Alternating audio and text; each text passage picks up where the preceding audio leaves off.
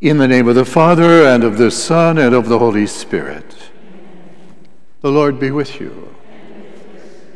Good morning, sisters.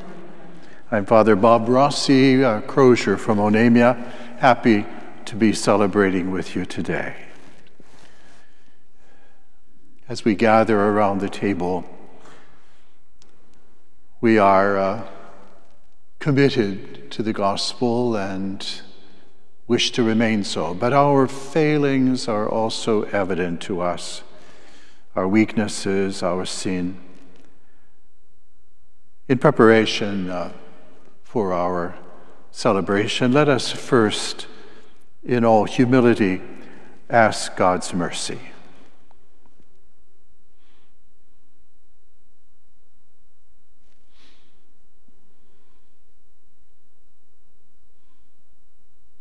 Lord, have mercy. Christ, have mercy. Lord, have mercy. May Almighty God have mercy on us, forgive us our sins, and bring us to everlasting life.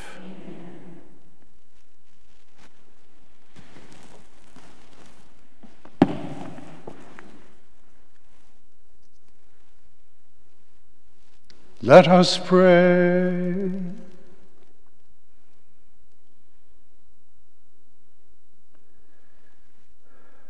Be present to your family, O Lord, we pray, and graciously ensure that those you have endowed with the grace of faith and eternal share in the resurrection of your only begotten Son, who lives and reigns with you in the unity of the Holy Spirit, God, forever and ever.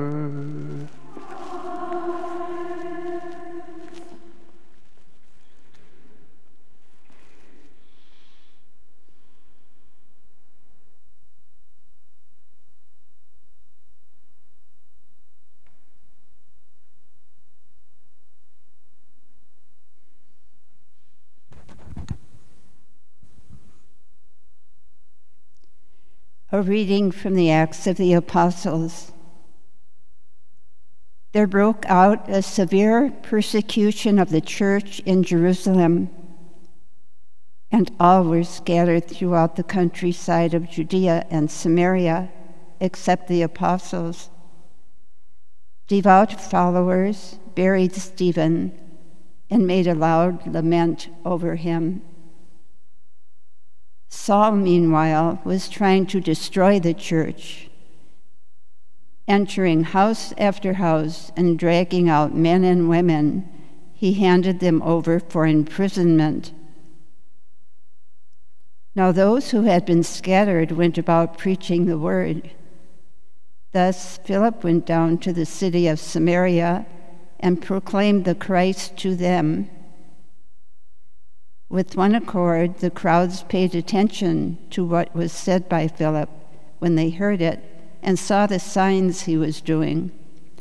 For unclean spirits, crying out in a loud voice, came out of many possessed people, and many paralyzed and crippled people were cured. This was the great joy in that city. The word of the Lord.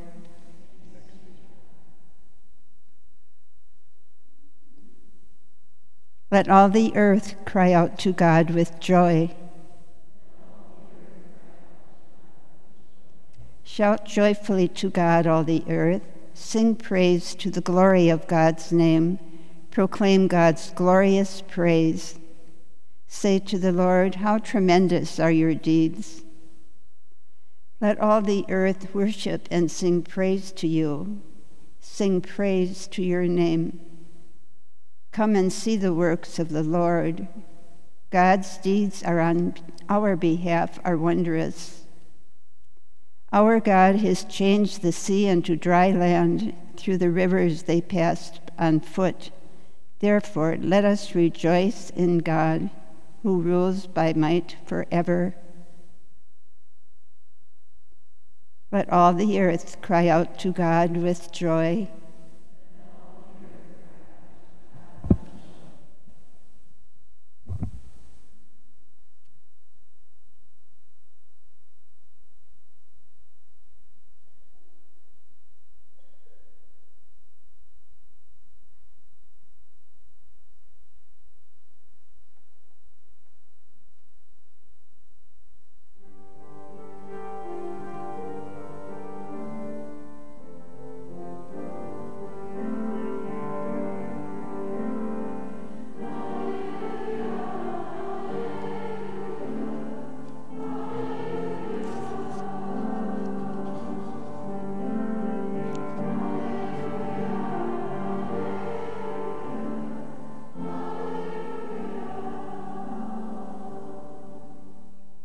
Those who believe in the Son has eternal life, and I shall raise them up on the last day, says the Lord.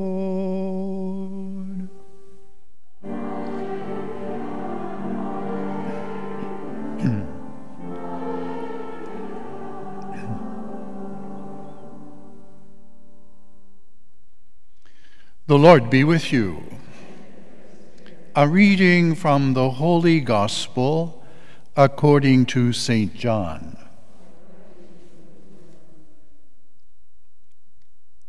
Jesus said to the crowds, I am the bread of life.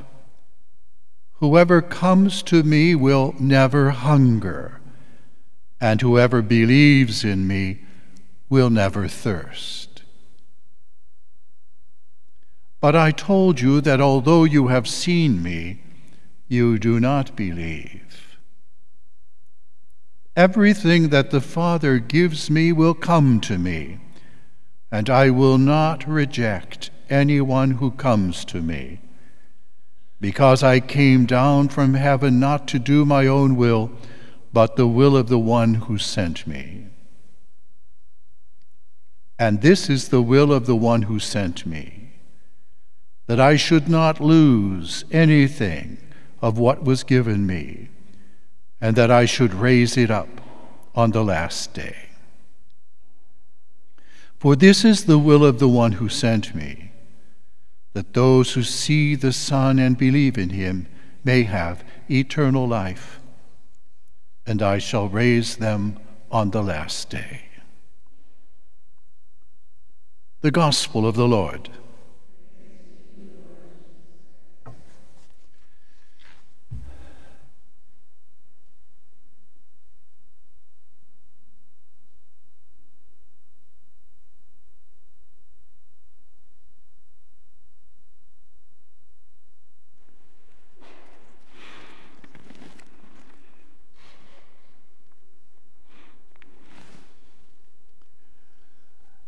Happy Easter, sisters.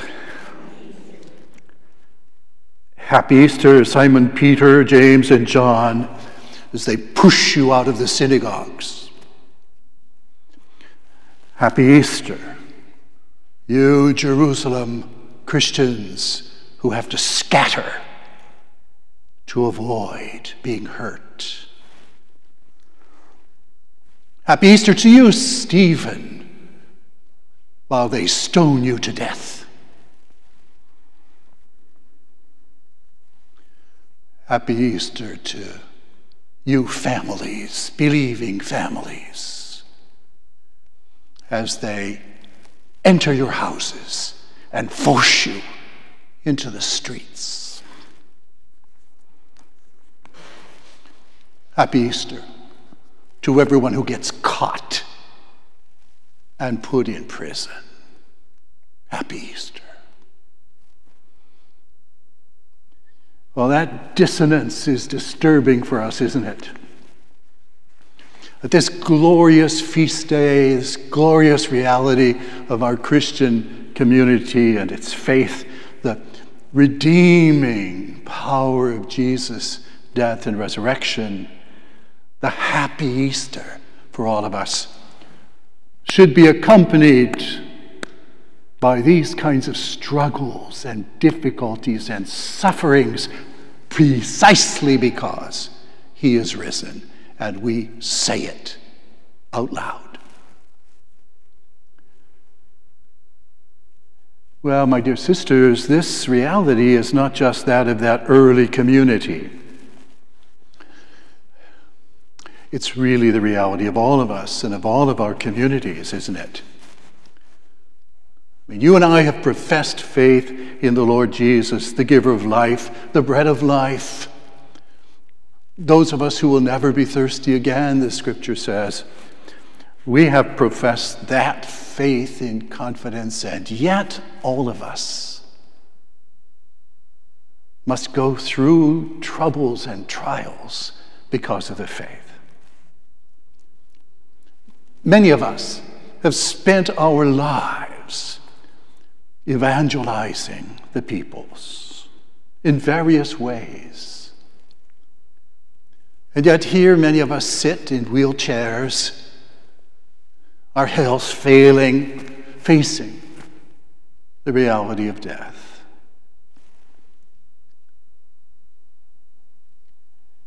All of us in our lives have got to face uh, disturbances in our communities, conflict, disagreements that sometimes tear us apart. We are Christian communities, and yet it happens to us. inside. Sometimes we wonder, don't we, about it all, about God, about Christ. You see, happy Easter is more than just happy.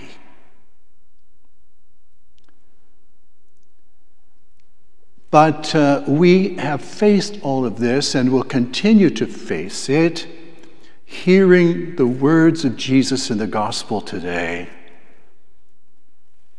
I will not lose any of the disciples. Amazing, isn't it? I will not lose any of the disciples because my Father won't see them lost. Well, that's what keeps us going, isn't it? That's what allowed Peter, James, and John to continue preaching. That's what allowed those Christian families in Jerusalem to maintain their faith, come back to it, live it out. That's what supported Stephen as he faced the rocks coming at him. And that's what uh, allowed uh, those early Christians to put up with Saul, throwing them out of their homes and putting them in prison. See, what allows us to endure? It is that deep conviction placed in us by the Spirit of God. Jesus is indeed risen. Jesus is indeed Lord. Jesus will not lose any of us. And in the end, we shall rise like him. That's what makes Easter happy for us. We go beyond the Sunday festivity. We live our lives in the world facing the great challenges we have because we know that not one of us will be lost to Christ. Well, I think that's good news, isn't it? Good news, uh, not just for ourselves, but also good news for those young catechumens, the, the people who have come into the church recently. It's uh, good news for Christians all over the world facing violence and terrorism, even violence, church people against church people. What, what sustains that? What allows us to put up with it, and not just to put up with it, but, but to live beyond it? What allows that? Jesus will not lose one of his disciples. And in the end, we shall rise as he has risen. Sisters, this is what we're celebrating at the table today. This is not just another ritual uh, performance, another uh, religious obligation of our communities, even obligations that we've taken on ourselves personally. It's not just that. This is the people of God who face the difficulties of their profession of faith. The people of God who live it out daily in their lives, and we are that people. We are gathered at this table to say, Thank you, to remember Jesus and his words to us, to be in communion with him here again today and with one another, and to hear and see the hope revived in us. One day we shall rise.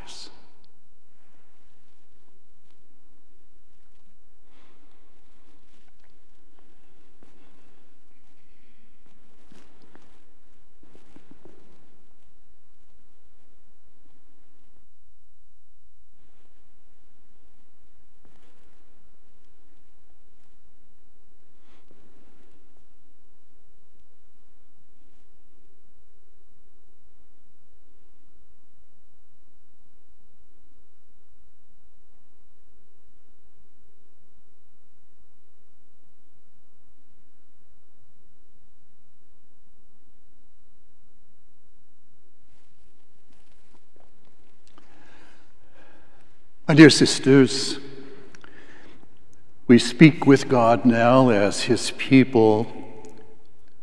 We speak to God about all those who are suffering, who are touched by the darkness of our world, and will continue to be touched by it until He comes again. We pray for them as we pray for ourselves. First, for our church that we might remain firm, stand fast, remain vigorous for the proclamation of the gospel to bring the good news to the others, which we have received. We pray to the Lord.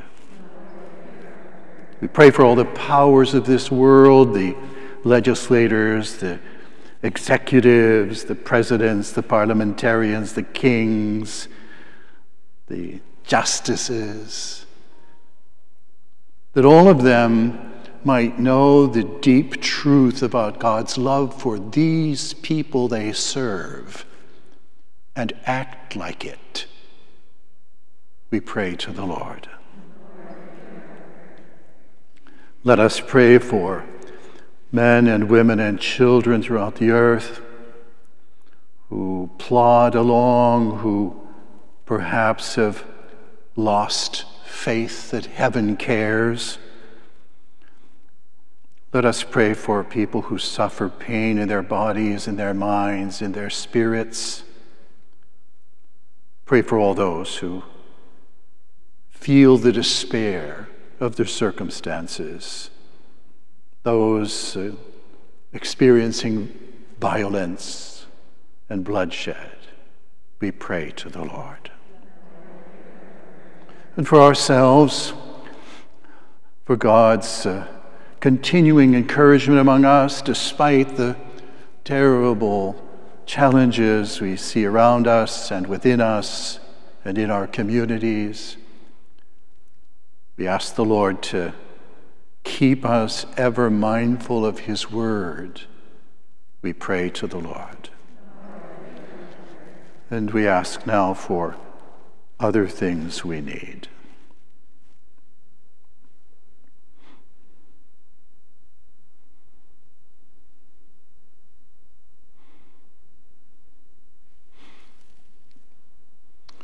We thank you, Father, for bringing us here to this oasis of life and hope for us. Thank you for this Eucharistic table we will sing your praises here. We'll, we'll, we will remember the great word you have spoken to us in Jesus. We will repledge ourselves here to it all enable us, encourage us. We pray for this in Jesus' name.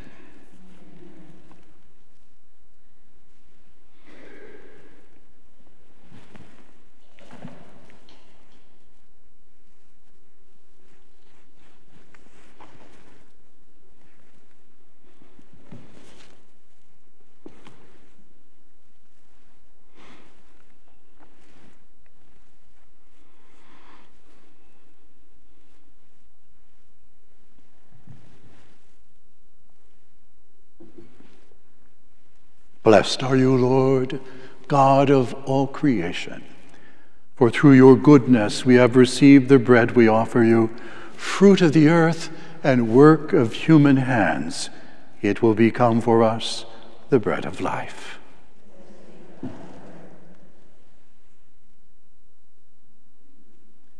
Blessed are you, Lord, God of all creation.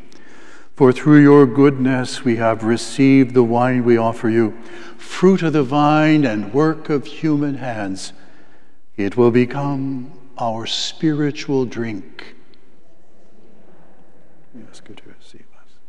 Be pleased with the sacrifice we offer you. With humble and contrite hearts, Lord, wash away my iniquity. Cleanse me from my sin.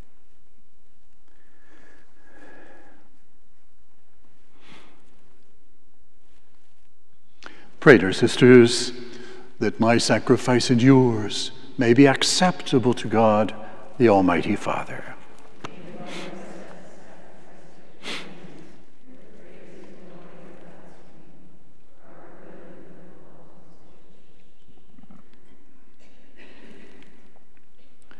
Grant, we pray, O Lord, that we may always find delight in these paschal mysteries, so that the renewal constantly at work within us may be the cause of our unending joy. Through Christ our Lord.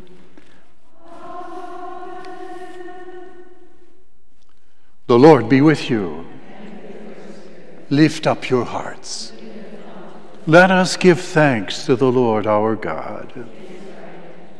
It is truly right and just our duty and our salvation at all times to acclaim you, O Lord, but in this time, above all, to laud you yet more gloriously when Christ, our Passover, has been sacrificed.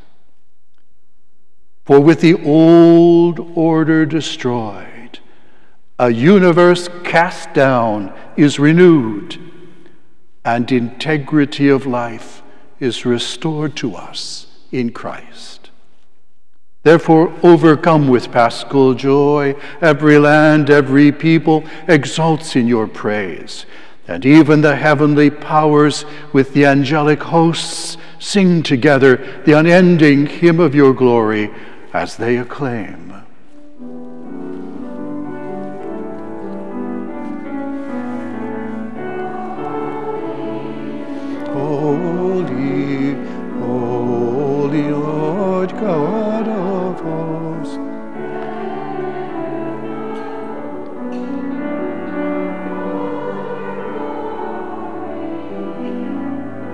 Hosanna, Hosanna, Hosanna in the highest. In the name, in the name of the Lord, Hosanna, Hosanna, Hosanna in the highest.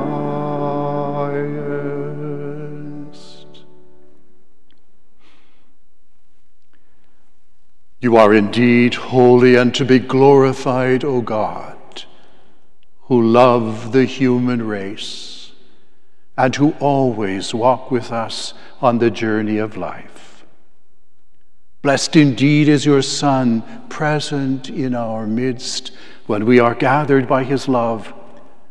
And when, as once for the disciples, so now for us, he opens the scriptures and breaks the bread.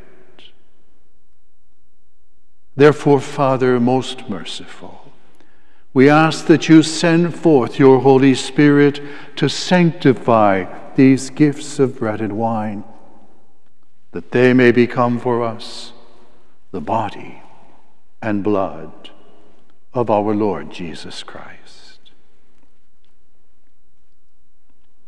On the day before he was to suffer, on the night of the Last Supper, he took bread and said the blessing, broke the bread, and gave it to his disciples, saying, Take this, all of you, and eat of it. For this is my body, which will be given up for you.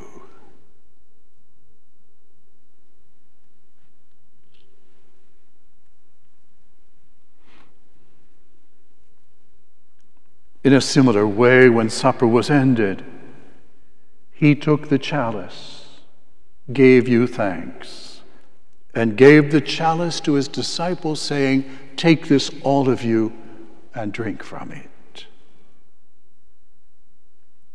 For this is the chalice of my blood, the blood of the new and eternal covenant, which will be poured out for you and for many for the forgiveness of sin. Do this in memory of me.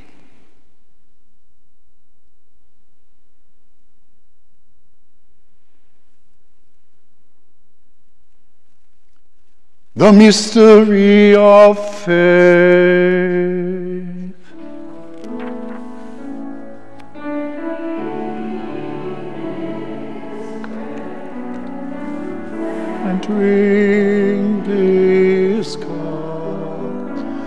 Proclaim your death, O Lord, until you come again.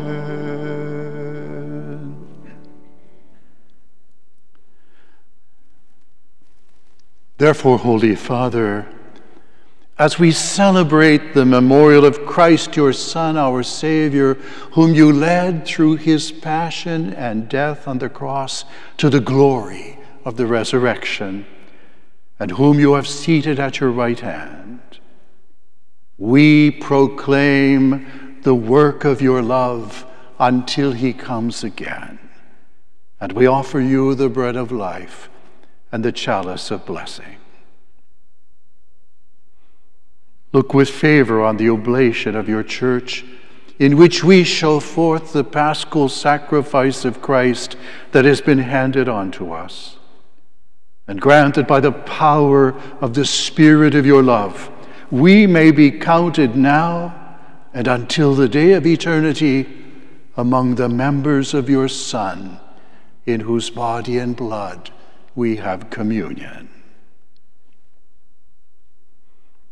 And so, having called us to your table, Lord, confirm us in unity so that together with Francis, our Pope, and Patrick, our Bishop, with all bishops, priests, and deacons, and your entire people, as we walk your ways in faith and hope, we may strive to bring joy and trust into the world. Remember our brothers and sisters who have fallen asleep in the peace of your Christ, and all the dead whose faith you alone have known. Admit them to rejoice in the light of your face, and in the resurrection give them the fullness of life. Grant also to us, when our earthly pilgrimage is done, that we may come to an eternal dwelling place and live with you forever. There, in communion with the Blessed Virgin Mary, Mother of God, with the apostles and martyrs, and with all the saints, we shall praise and exalt you through Jesus Christ, your Son. Through him, and with him, and in him O God, Almighty Father, in the unity of the Holy Spirit, all glory and honor is yours forever and ever.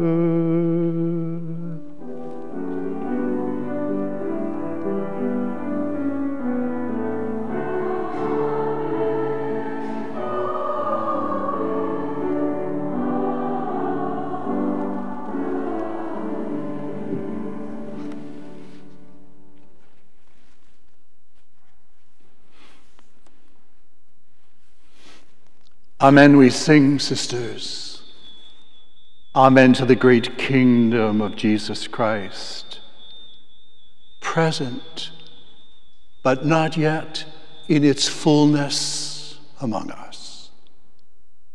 With great confidence, let's pray to our Father. Let's sing the prayer that Jesus himself taught us.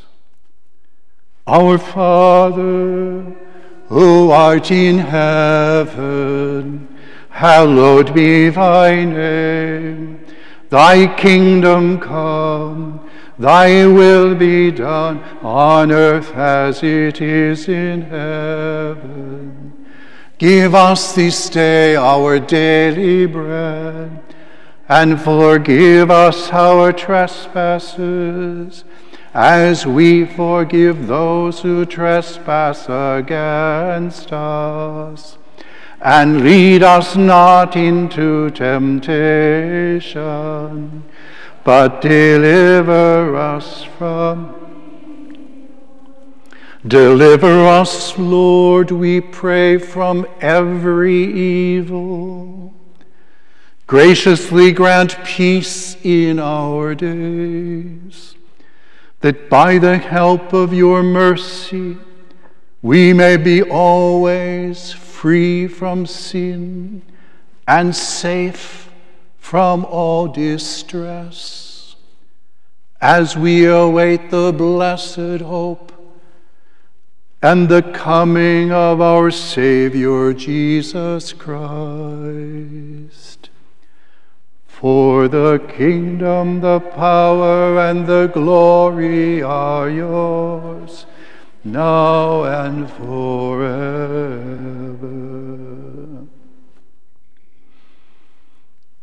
Lord Jesus Christ, who said to your apostles, Peace I leave you, my peace I give you. Look not on our sins, but on the faith of your church and graciously grant her peace and unity in accordance with your will, who live and reign forever and ever. And may the peace of our Lord be with you always. Let us greet one another in peace.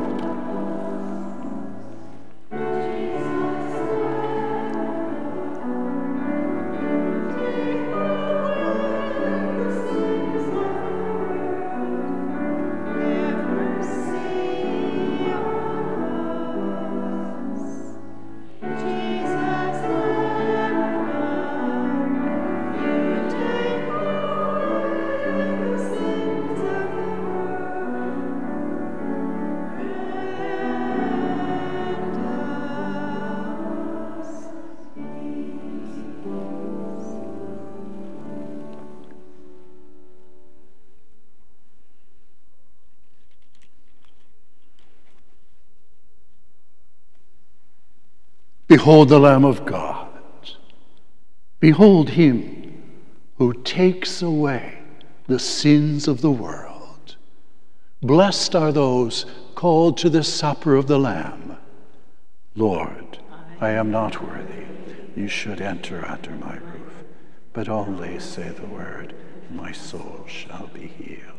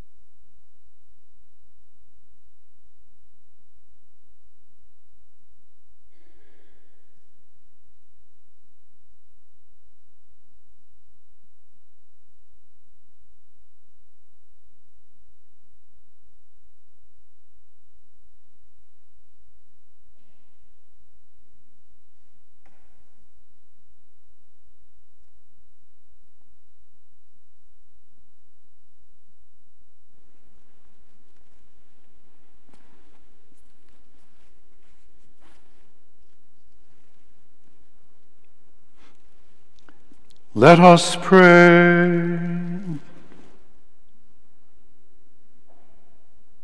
Hear, O Lord, our prayers, that this most holy exchange by which you have redeemed us may bring your help in this present life and ensure for us eternal gladness through Christ our Lord. The Lord be with you. May Almighty God bless you, the Father, the Son, and the Holy Spirit. Wonderful to celebrate together this uh, great mystery. Thank you for that. We go now in Christ's peace. Thank you.